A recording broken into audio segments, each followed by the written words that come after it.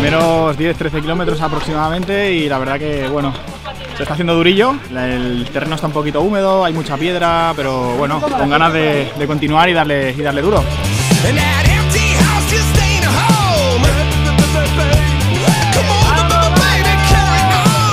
Recorrido espectacular. Da el terreno precioso. Y la gente va muy callada, pero hay que animarlo, si no, esta gente se viene abajo enseguida.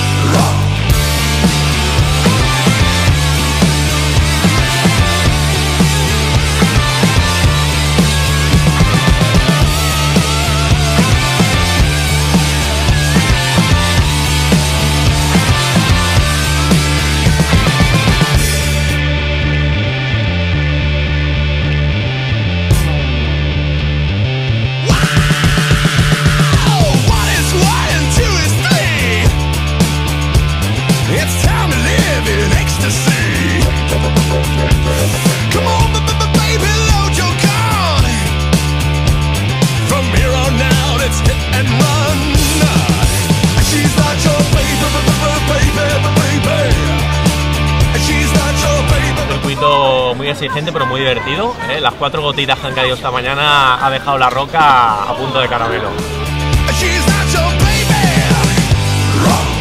Ha estado muy bien organizada, el recorrido sin duda un 11 sobre 10.